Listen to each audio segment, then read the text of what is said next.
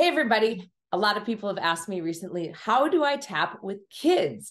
Well, depending upon the age is going to make a big difference. So after the show reel, I'm going to talk to you about exactly how to do that in the most powerful and effective way for them.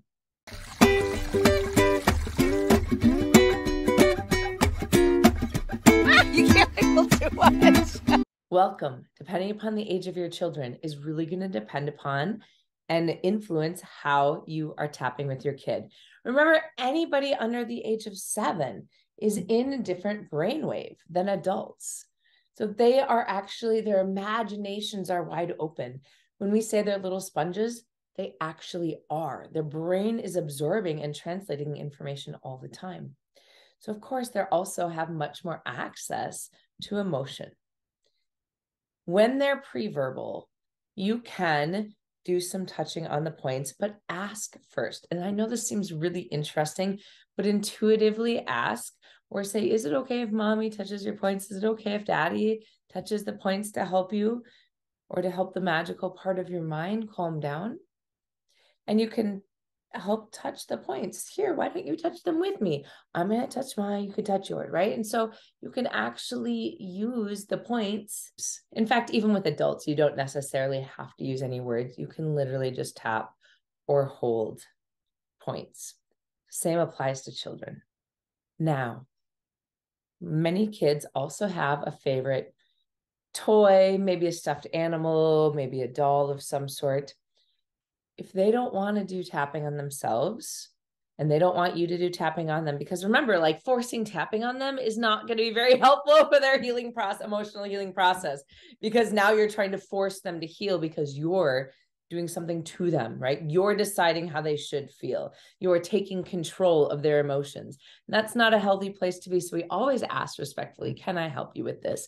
Even if they're pre-verbal you get a sense as a parent, just the same way you know sometimes when they need to be fed or held or what kind of cry they're having, you get a sense. So follow that intuition, follow that sense that you have about your own child. So sometimes, let's say they had, came home from school and they were sad. Well, what happened? Mm, I had a bad day at school. Sometimes you can have them talk to their toys, like, "Oh, did Teddy have a bad day at school? Yeah. Just Teddy want tapping? Yeah." And then they can actually tap some of the points just as if they were tapping on themselves, right? It doesn't matter that the bunny's nose is in a different spot. They can tap, oh, just tap on Bunny's head. Just Bunny want to tap between her eyes? Yeah, you can tap between Bunny's eyes. That making Bunny feel better. The thing is, kids have so much association and love with their stuffed animals and their toys that it will actually calm their system as well because until a certain age right we're also not super aware of many emotions or we're only aware of the big ones like i'm happy or i'm angry right or i'm sad. Those are kind of the only emotions that we have to express. We're not we're not skilled in nuance the nuances of many emotions. So know that you can play with this with your kids. Once they get older like i remember my nephew when he was eight we ran into some um baby black bears while we were out hiking. And of course, he freaked out like, oh no, the mama bear's to come and she's to eat us. And oh, Auntie Dawn, you brought all the wrong food. And like everything was a tragedy, right? Because I said, well, we can either wait two hours and then come back along the same path, or we can walk all the way around in our swimsuits on a hot summer day. But I kept having him tap, like, just tap here. Tell me more about it. Tell me how frustrated you are. Just keep tapping here and I just had him do the one point and then he'd stop tapping for a while, you know, because he didn't feel like it. And that's his choice. But after we were about a half a mile into the walk, he was much calmer. Um, he could call his mom and tell her like he still wanted the attention of like, oh, we ran into bears and it was scary. But he was much more calm. He was more focused on when are we going to get back? How are we going to eat? Rather than is the mother bear going to come get us? So you can use this for test anxiety, bullying um, when they're bullying or when they are being bullied by other kids. They can use it when they're feeling afraid. They're having challenges sleeping. You can even have them lay in bed and just hold your points.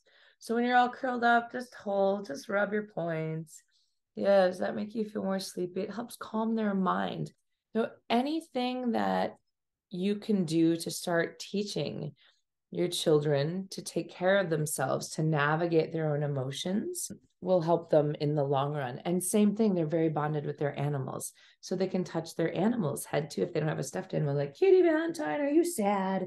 You can scratch your head and touch all the, all the points. So I hope this was helpful for you. Um, I also teach some hypnosis, and we can use that on children as well because they're very in tune to how to shift their own mental state, their own physical discomforts, and their dream states um, using hypnotic style techniques. So I hope this is helpful for you. Remember to subscribe and like, and please ask any questions that you need. I'd love to support you. Remember that you are loved, you are loving, and you are lovable. And Kitty Valentine and I say good night.